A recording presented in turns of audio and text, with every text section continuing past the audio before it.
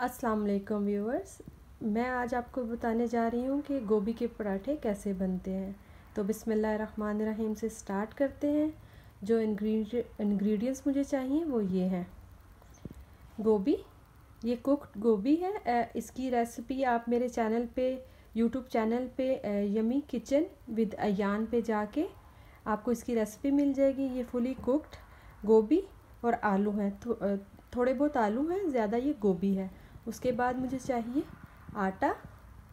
ये गेहूँ का आटा है, जिससे रोटियाँ और पराठे बनते हैं।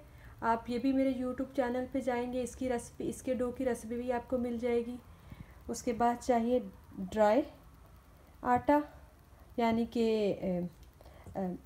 इसके बाद चाहिए ड्राई आटा, और हमें कुछ चाहिए fresh red chillies fresh coriander salt red chilli powder ajwain garam masala देसी घी पराठे मुझे देसी घी के पसंद हैं। अगर आपको देसी घी की रेसिपी भी मेरे चैनल पे यूट्यूब चैनल पे यमी किचन विद अयान पे मिल जाएगी। और बटर तो आइए चलते हैं इसके मेथड की तरफ़। जैसा कि मैं पहले ही आपको बता चुकी हूँ, ये फुली कुक गोभी है। इसमें मैं ऐड करूँगी coriander and green chillies, salt. जब इसको पकाया था तो इसको एक सालन की शक्ल में पकाया था तो इसलिए इसमें जब पराठे में हमें ज़्यादा स्पाइस चाहिए मैं शामिल कर रही हूँ रेड चिली पाउडर अजवाइन आप देख रहे होंगे, मैं गोभी में काफ़ी अजवाइन यूज़ करती हूँ। पकाते वक्त भी मैंने यूज़ किया था, अभी भी मैं डाल रही हूँ, क्योंकि इससे गैस की प्रॉब्लम नहीं होती। एक आपको टिप ही दे रही हूँ कि गोभी के पराठों में, आलू के पराठों में, मूली के पराठों में अगर आप अजवाइन का इस्तेमाल करें तो इससे आपको गैस की प्रॉब्लम नहीं होगी और आपको पराठा खाने में भी हल्का खाने के बाद हैवीनेस भी फील नहीं होगा। उसमें मैं शामिल करने जा रही हूँ गरम मसाला अब मैं इसको मिक्स कर लेती हूँ। जी तो व्यूवर मैंने सब मसाले शामिल करने के बाद, क्योंकि इस गोभी में जब मैंने कुक किया था तो इसमें आलू भी शामिल थे। तो मैं इसको एक पोटैटो मैशर की मदद से थोड़ा सा मैश कर रही हूँ। स्मूथ इसको बना लूँगी।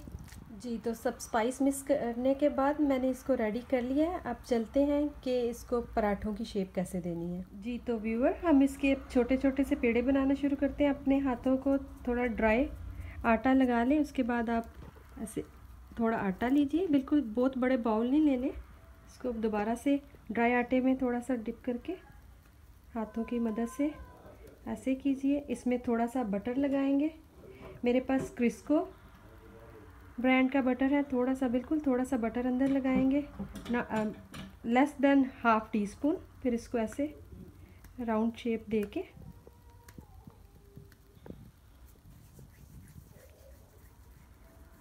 एक छोटा सा पेड़े की फार्म में बना लेंगे।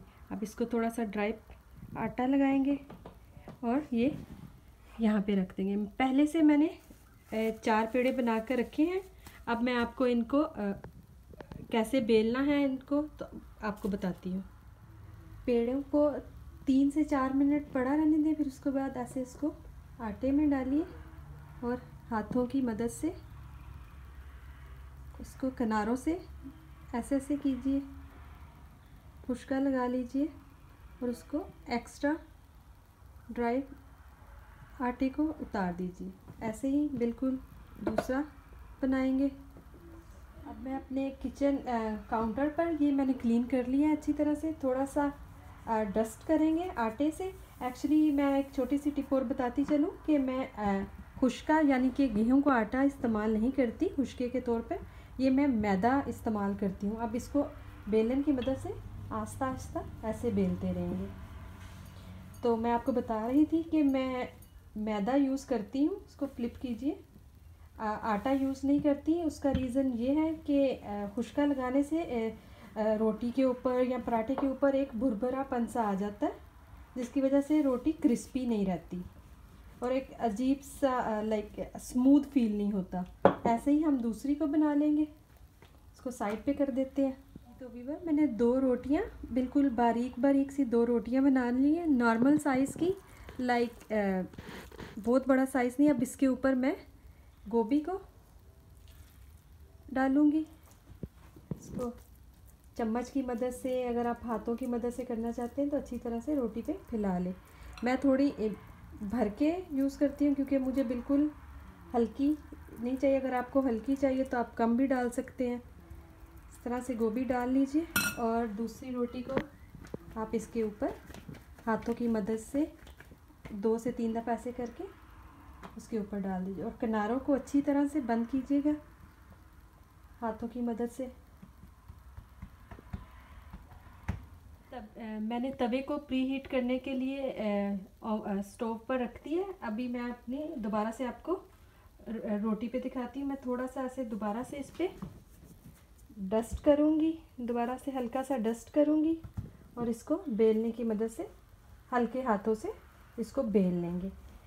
कभी ऐसा होता है कि आपकी रोटी थोड़ी बहुत फट जाती है तो परेशान नहीं हो, होइएगा क्योंकि ये पकी हुई है गोभी तो जिसकी वजह से थोड़ी कभी कभी थोड़ा सा खुलने खुलने का खतरा होता है। मैं थोड़ा सा डस्ट करूँगी लाइट साइड चेंज करूँगी। अगर आपको प्रैक्टिस नहीं है साइड चेंज करने की, रोटी बनाने की तो आप कोशिश कीजिएगा कि थोड़ा बड़ा, दो बड़ी रोटियाँ बनाकर तो आप उसमें रख के हल्के हाथों से आप इसका पेड़ा बना लें। अब मैं इसको तवे पे डालती हूँ। इसको ऐसे पकड़ेंगे आप आराम से। और आप इसको तवे पे डाल देंगे। मैं दूसरी तरह से सीधा डालती हूँ लेकिन आपको दिखाने के लिए जो व्यूवर्स जो लोग नए हैं जिनको रोटी बनानी नहीं आती उनके लिए ऐसे दोनों हाथों से पकड़ के डालने से थोड़ी आसानी रहती है। आपको पता चल जाता है कि आपका पैन कितना बड़ा है। इसको, इसको बहुत ज़्यादा हल्की आँच पे नहीं बनाना थोड़ा मीडियम से थोड़ा हाई रखना है। इसको पकने का पता आपको इस तरह लगेगा कि ये ऊपर से थोड़ी थोड़ी पकती जाएगी। जी तो व्यूअर जैसे आप देख रहे हैं कि ये पकने, पकना शुरू हो चुकी है, अब इस स्टेज पर मैं इसकी साइज़ चेंज कर दूँगी। चिमटे की मदद से, हाथ की मदद से आप आराम से इसकी साइड चेंज कर सकते हैं। मैंने इसकी साइड चेंज कर दी है। अब मैं दूसरी तरफ़ से इसको पकने दूँगी, एक मिनट और उसके साथ साथ मैं इसके ऊपर ये देसी घी वन टीस्पून मैं देसी घी से बनाती हूँ, आप चाहे तो बटर से या ऑयल से भी बना सकते हैं। इसको घी के इसके साथ ऊपर ऐसे लगा लीजिए। अभी मैं इसको फ्लिप करूँगी। जी तो व्यूवर अब मैं इसको फ्लिप करने लगी हूँ। मैंने इसको फ्लिप कर लिया। आप चाहें तो अपने हाथों की मदद से इसको ऐसे ऐसे करें। अगर आप अपने हाथों की मदद से नहीं करना चाहते तो आप कोई भी नैपकिन या बाउंटी पेपर लेके उससे हल्का हल्का इसको घुमाते रहें। और इसको पकड़ दीजिए। जी तो व्यूअर अब मैं इसको दोबारा से फ्लिप करूँगी। उस साइड पे आपने देखा है, मैंने बिल्कुल भी कोई ऑयल या बटर कोई भी घी यूज़ नहीं किया, क्योंकि मैंने one teaspoon of ghee use किया था, वो इनफ है। बिल्कुल इसी तरह आप देखिए कितने प्यारे पिंक कलर आया है इसके ऊपर, उस दूसरी साइड से भी पकने देते हैं। बिल्कुल थोड़ा सा, मैं इस पर नीचे वाली साइड के लिए बिल्कुल थोड़ा सा घी इस पर डाल रही हूँ, बिल्कुल लाइट सा। अब हम इसको पकने देते हैं। जी तो व्यूअर मैं इसकी साइड दोबारा से चेंज करूँगी। देखिए, दूसरी तरफ़ से भी पक गया है। बिल्कुल हम लाइक थर्टी सेकेंड के लिए अदर साइड को कुक करेंगे और फिर गोभी का पराठा रेडी है। जी तो व्यूवर गोभी का पराठा रेडी है। अब मैं इसको एक प्लेट पर, मैं एक प्लेट पर नैपकिन रखा है और मैं अब इसको उस प्लेट पर निकाल लेती हूँ। जी तो व्यूअर मेरा गोभी का पराठा रेडी है। जी तो व्यूअर अगर आपको मेरी आज की रेसिपी पसंद आई हो तो प्लीज़ सब्सक्राइब कीजिए और लाइक कीजिए। दुआओं में याद रखिएगा। गोभी पराठे को मैं फ्राई एग के साथ सर्व कर रही हूँ। आप चाहें तो योगर्ट के साथ भी सर्व कर सक, सर्व कर सकते हैं। अल्लाह हाफिज़।